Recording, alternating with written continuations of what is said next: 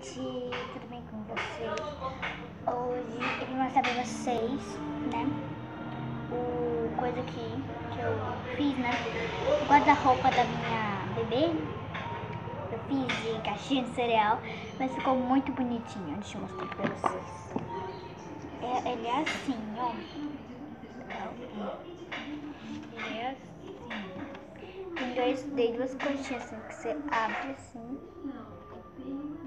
Tem uma roupinha ali dentro. E ele é muito bonitinho. E a minha filhinha adorou. Quando ela quiser, quando ela quiser, ela pega e fecha de novo. Aí vai fazer tipo uma fechadura pra prender o cadeado, sabe? Aí quando talvez eu fizer isso, só acho que eu não vou fazer, muito caro. Eu mostro pra vocês, tá bom? Aí quem não viu aqui na descrição do vídeo da minha rotina da bebê da tarde. Olha aqui, eu, tenho, eu vi essa mamadeirinha.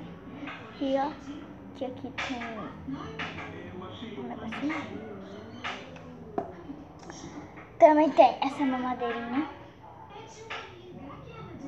Tem um suquinho. Tem três mamadeirinhas. Tem aqui a malinha dela, ó. Que bem confortável.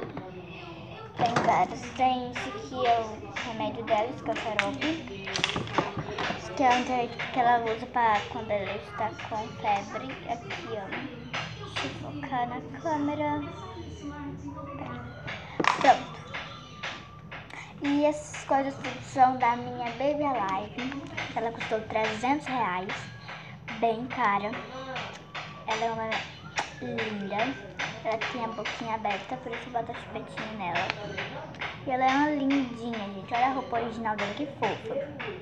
Ela é cheia de moranguinhos. Aqui em cima tem bem uns lacinhos bem bonitinhos. Eu amo ela. E beijão.